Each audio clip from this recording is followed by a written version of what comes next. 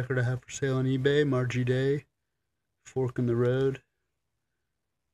The Family Bible Room, Kenton Street, Norfolk, Virginia. Mercy, Word Music Inc., 1978.